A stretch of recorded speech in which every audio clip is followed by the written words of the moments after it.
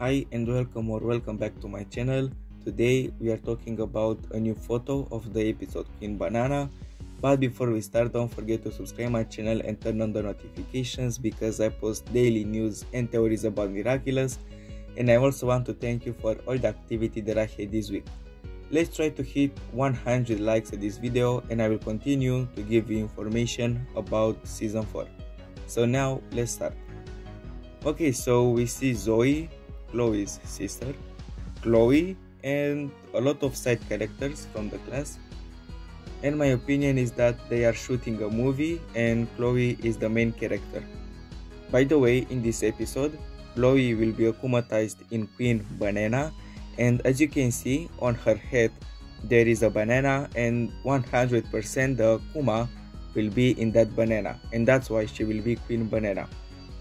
By the way, Chloe looks so good with her hair down. I really love her and I hope that in this season she will have more character development because she really deserves better. From another trailer we saw Nino shooting the movie so for sure they are filming a movie right now and I love the fact that Zoe is here because I'm really curious to see how she is. And in this episode, Zoe will have the Bee Miraculous and she will be Vesperia.